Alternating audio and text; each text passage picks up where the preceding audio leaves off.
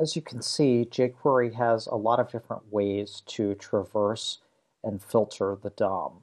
There are numerous functions here, many of which do similar things, and we'll find that in this video it's pretty easy to combine a couple of these to accomplish a lot of work in a fairly short amount of code. So let's just dive in and do that.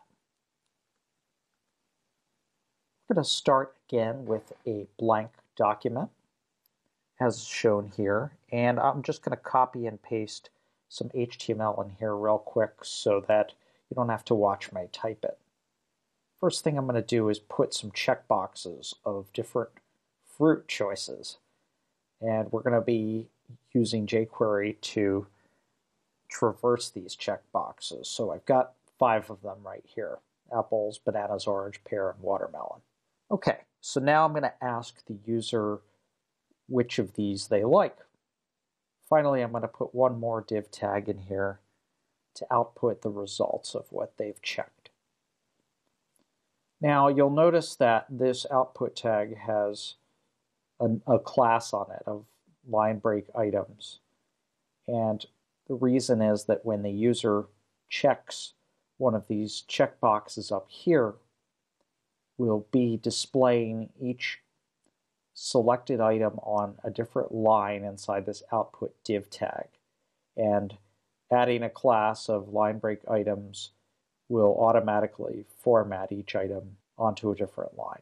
And we'll see how that works very shortly. All right, so now to get this to work, the first thing we want to do is capture an event where those checkboxes are checked.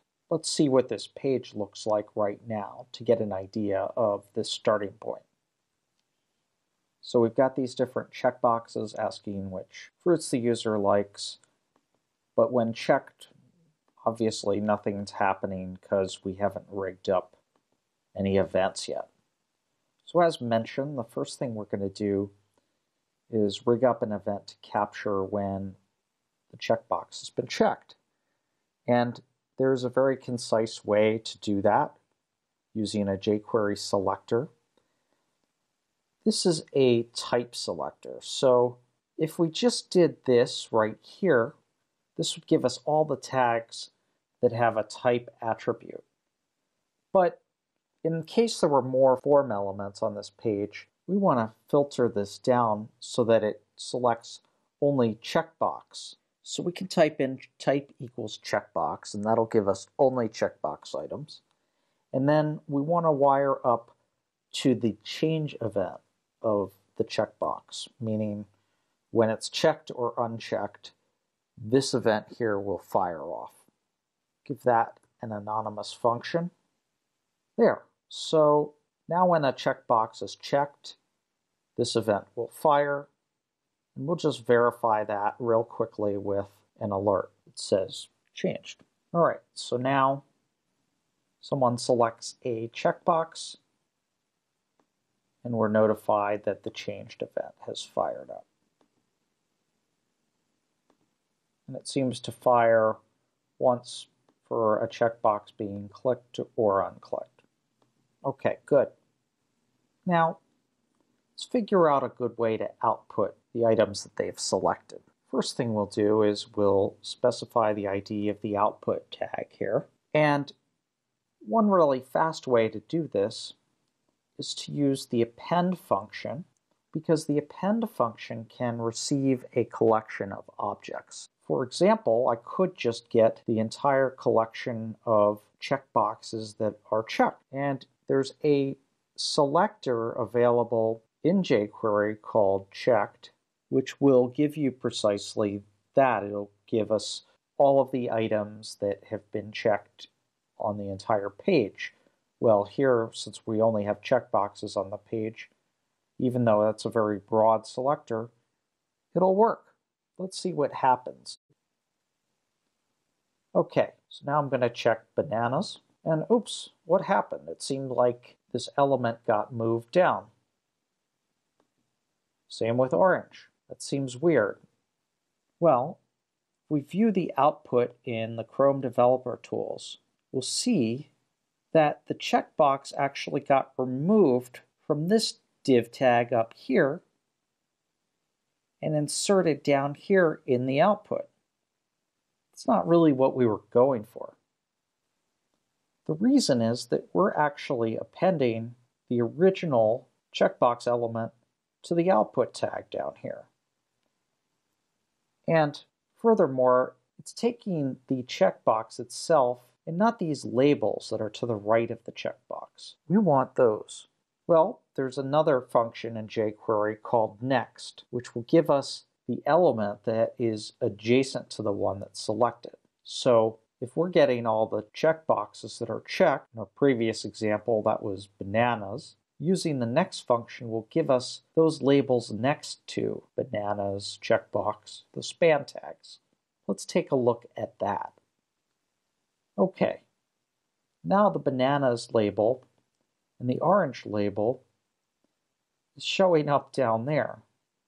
But this thing's still behaving kind of weirdly. We don't want the labels being moved around, nor do we want the checkboxes to be moved around. So instead of moving the label, we want to just make a copy of the label and copy it down into this output div tag. A really simple way we can do that is with the clone function. So now what this says is, first, give me all the checkboxes that are checked.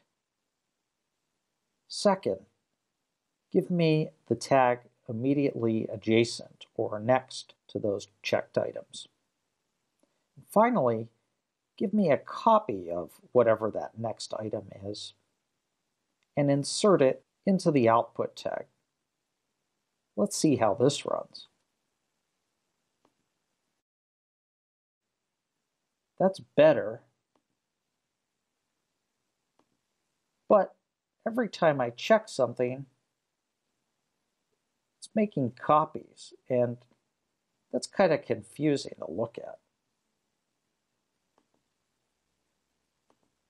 Same with unchecking. Well, this problem is a little bit easier to solve. We're using the append function, which doesn't overwrite the contents of the output tag, but appends to it. So maybe what we should do is each time this change function is called, right here, we should first zero out whatever is inside of that output tag. We've already seen in previous videos how easy it is to do that we can just call the output selector and then call the HTML function on top of that. There. That'll zero out whatever's in the tag already. Oh, now it's really starting to come together. When I check items, they appear, and when I uncheck them, they also appear.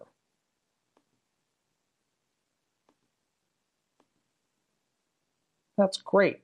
One thing we could do is add a label just above the span tags that are showing up here based on the items that have been selected.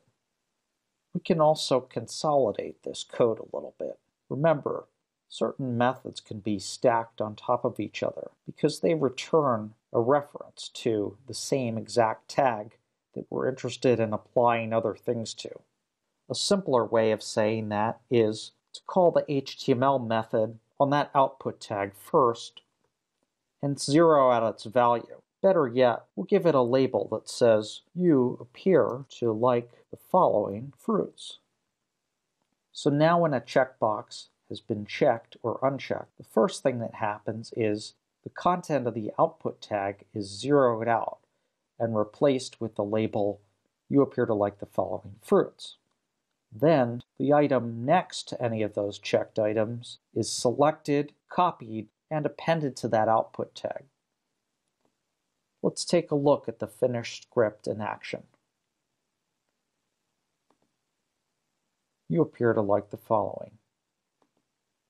And it keeps appending to that nicely.